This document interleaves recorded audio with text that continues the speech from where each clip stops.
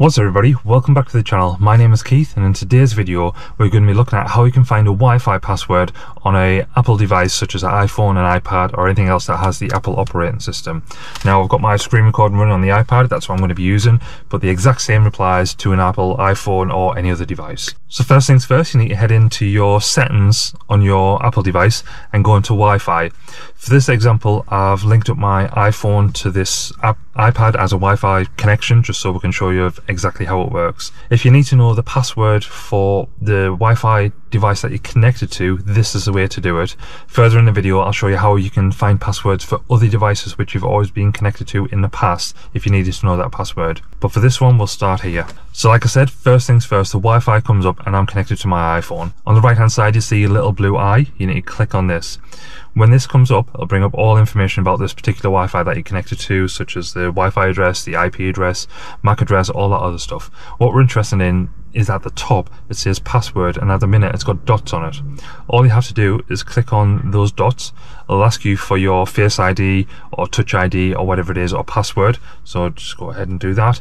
And as you can see, that reveals the password.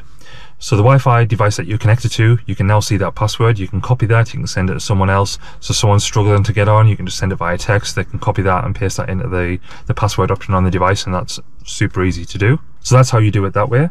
Now, if you want to find a password for a device which you previously connected to, you need to go back to the Wi-Fi screen. In the top right, you'll see an edit option. So you need to click on that edit option. And again, it'll ask you for your Face ID or your Touch ID or whatever it is. So in this instance, it was a Touch ID. Brings up a list of all of the Wi-Fi networks that you've connected to in the past. And then all you have to do is just click on the eye on any of them. So we'll take one of these random BT ones. And as you can see here, this has got the same options with the Wi-Fi address and stuff like that. And it's also got the password on it. And again, the password has dots on them. So all you have to do is click on the dots. That'll reveal the password. So you can then copy that password, send it to someone else, and they'll be able to use that password to connect to that Wi-Fi device. So again, you can go on to any one you want. We'll pick another random BT one. This has got a really long password, so you click on the password again, and that reveals it all.